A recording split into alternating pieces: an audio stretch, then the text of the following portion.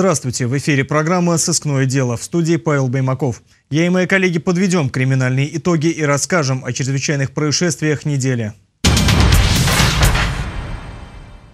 Уже неделю самарские медики борются за жизнь младенца, найденного в лесополосе в Кировском районе города. По их оценке состояние пока тяжелое, ребенок находится в реанимации. Нашей съемочной группе удалось встретиться с семьей, которая нашла младенца, отогрела и передала в руки медиков. Подробности этой почти мистической истории в репортаже нашего корреспондента.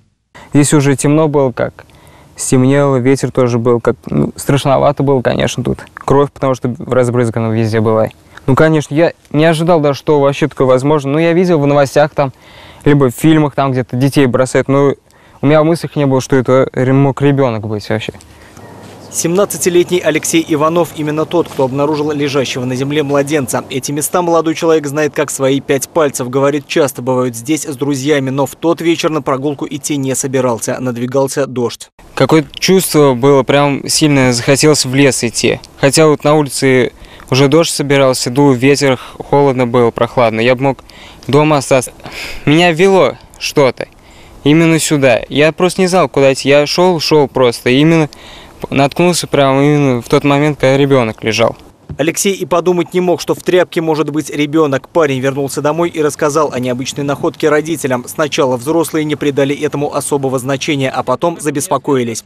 Первым спохватился отец молодого человека Владимир. По его словам, был уверен, что в лесу ребенок. Сразу же побежал готовить теплую ванную. Интуиция не подвела. Мне снится сон, что я иду, вот, ну как в больнице, типа коридор, иду, иду, иду, дверь, открываю дверь, и вот так вот смотрит врач, женщина, мне как вот в Калин зелененькие эти шапочки, все это, форма. Вот. И вот смотрит и говорит, набирайся силы для шестого. Я был уверен, что это мальчик. Они даже не знали, кого взяли, не смотрели. Я э, знал, что будет мальчик. Мать семейства Любовь с детьми отправилась в лес. Место удалось найти не сразу. На улице стемнело. Мы место это нашли. Просто это открыли и увидели вот этого ребеночка. Я его быстренько схватила, завернула. И также, короче, побежали. Быстренько скорую помощь позвонили. Они быстро приехали. Конечно, не ожидала.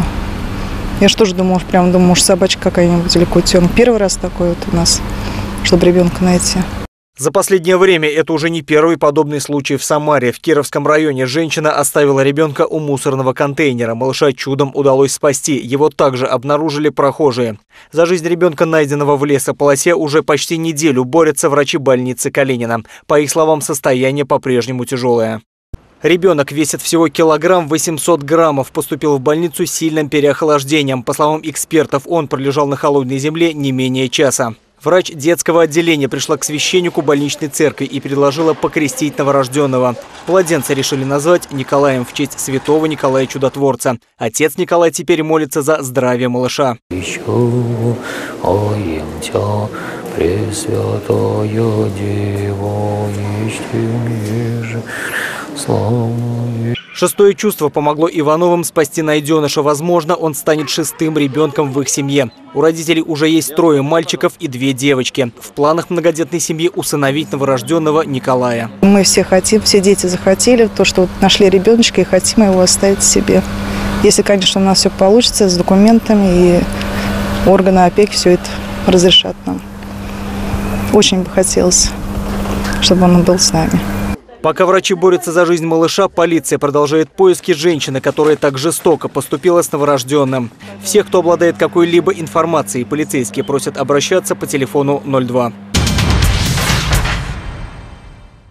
Жители Самары задержали по подозрению в уличном грабеже в Кировском районе. По данным полиции, 25-летний мужчина сорвал с женщины золотую цепочку и скрылся. Это произошло на проспекте Металлургов около 11 вечера. Вычислить нападавшего удалось с помощью камер видеонаблюдения. По словам полицейских, ранее мужчина уже был судим за грабеж.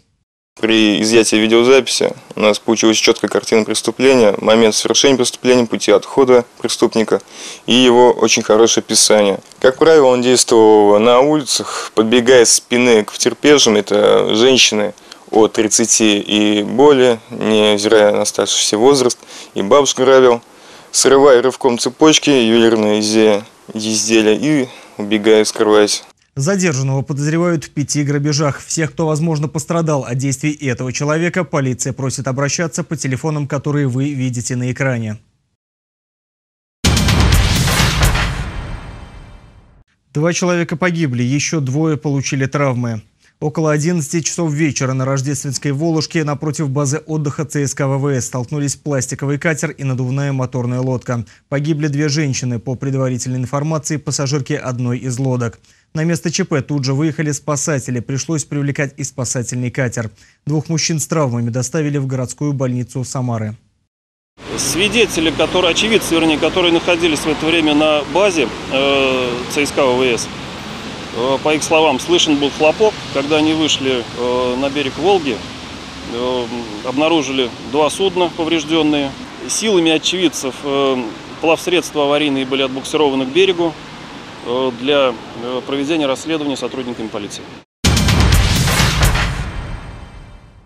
Трем самарским студентам фотосессии чуть было не стоило жизни. Два молодых человека и девушка тайком проникли на территорию еще строящейся станции метро Алабинская в Самаре. Затем по путям прошли более километра, дошли до станции Российская. Там их уже ждали сотрудники метрополитена. Хулиганам повезло, рельсы были обесточены. Расстояние между станциями Алабинская и Российская чуть больше километра. Как рассказывают представители метрополитена, троица к опасному походу готовилась заранее. Об этом говорила спецэкипировка и целый арсенал инструментов. Фотоаппарат, фонари, веревки, отвертки, разводной ключ и даже кусачки, с помощью которых диггеры вскрыли перегородку между двумя станциями и продвинулись еще на 150 метров вперед. Такие эксперименты очень опасны для жизни, даже если рельсы обесточены. У нас э, вдоль так сказать, э, тоннеля расположены кабели высоковольтные, там и 10 киловольт есть, и 0,4 киловольта. И если человек, там, например, может э, нанести удар по нему или, не дай бог, полезет по этим кабельным стойкам, он может повредить внешнюю изоляцию этих кабелей попасть под действие высокого напряжения. И смертельный случай гарантирован. Похожая ситуация с незаконным проникновением произошла в июне этого года. Двое молодых людей взломали кабину машиниста в хвосте электропоезда. О выходке машинисту сообщили пассажиры вагона. По диспетчерской связи о нарушителях порядка стало известно и полицейским. Тогда молодые люди попытались скрыться в тоннеле. Из-за происшествия услугами метро тогда не смогли воспользоваться порядка 500 пассажиров, плюс технические издержки. Многие к таким экспериментам относятся с опаской. Жить охота. Нет, не думают головой просто и все. Так рисковать жизнью – это необдуманный риск. Ночных хулиганов оштрафовали. По предварительным данным, каждому придется заплатить по 50 тысяч рублей. Дорогая получилась фотосессия.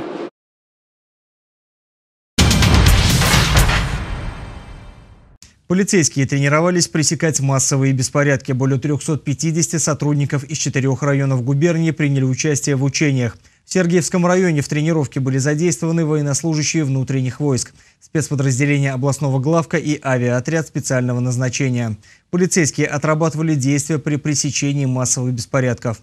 Такие учения позволяют объединить усилия всех подразделений и закрепить полученные знания в обстановке максимально приближенной к реальной. На сегодняшних занятиях были отработаны с личным составом практические навыки по задержанию преступников, а также по пресечению массовых беспорядков.